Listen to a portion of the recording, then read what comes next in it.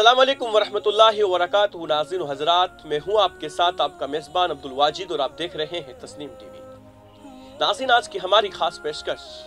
इस्लाम क्या कहता है मैं आपका इस्तकबाल करता हूँ।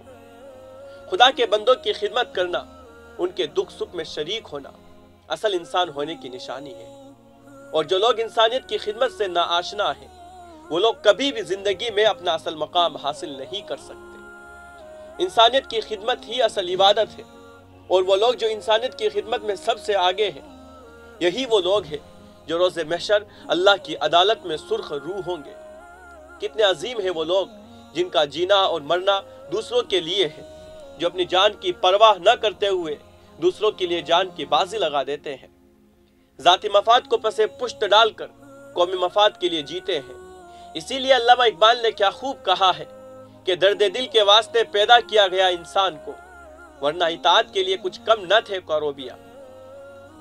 क्योंकि अपना दर्द तो जानवर भी महसूस कर लेता है, मगर इंसान को अशरफुल मखलूकत इसलिए बनाया गया कि वो दूसरों के दर्द को अपना दर्द समझे।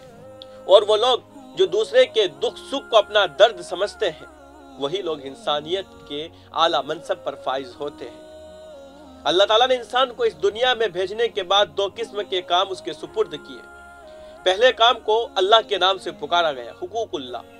और दूसरे काम को हुकूकुल इबाद के नाम से पुकारा गया।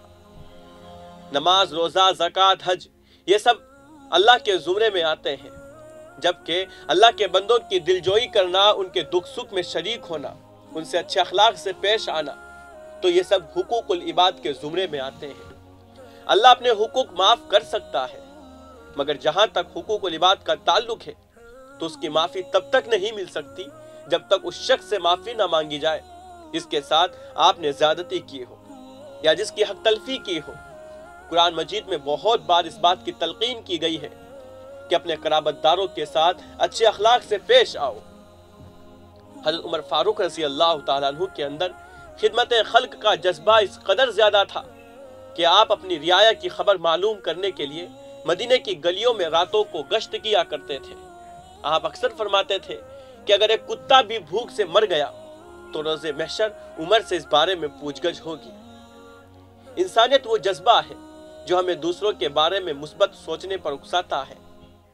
इंसानियत के बगैर मुआरे में रवादारी मुमकिन नहीं है। इंसानियत हमें दूसरों के दुख और तकलीफ़ को समझना सिखाती है।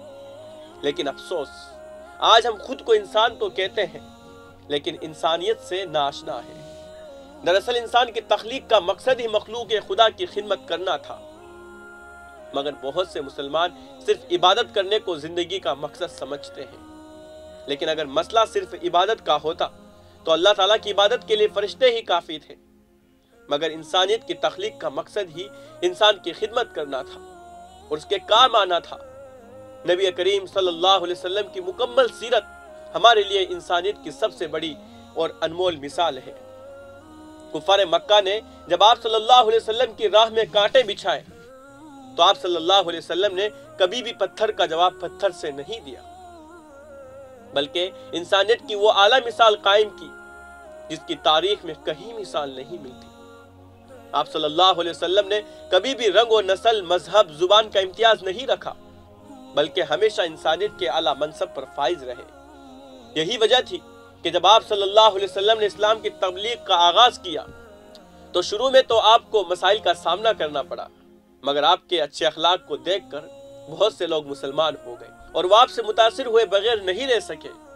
फतेह मक्का के मौके पर अल्लाह के नबी हज़रत मोहम्मद मुस्तफ़ा सल्लल्लाहु अलैहि वसल्लम ने अपने दुश्मनों को माफ़ किया और दुनिया को इंसानियत की सबसे बड़ी तालीम दी।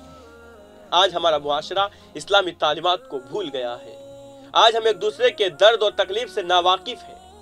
या यूँ कहे कि अगर हम जानते हैं तो हम बेहिस हो गए हैं। आज हम एक दूसरे को मुसीबत में देखकर न सिर्फ़ खामोश है, बल्कि खुश होते हैं। उसकी बुनियादी वजह यह है कि इंसानियत हमारे दिलों से मिट गई है।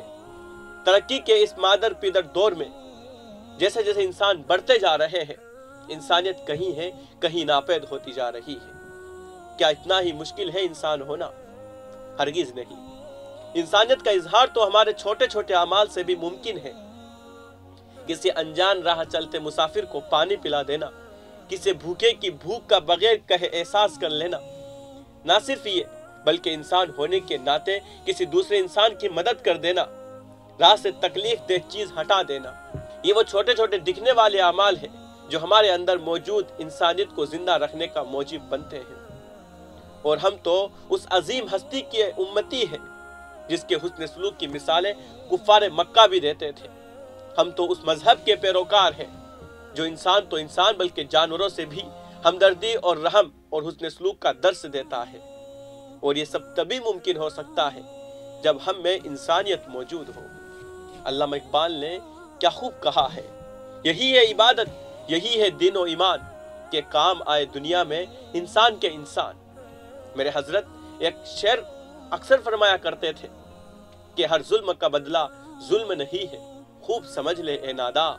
हम अखलाक से जीता करते हैं, एहसान से मारा करते हैं। अल्लाह ताला हमारा हामी और नासिर हो। तो फ़िलहाल के इस रिपोर्ट में बस इतना ही। मुझे दीजिए इजाज़त और आप देखते रहिए तस्नीम टीवी आपके मेजबान अब्दुल वाजिद के साथ। अल्लाह हाफिज़।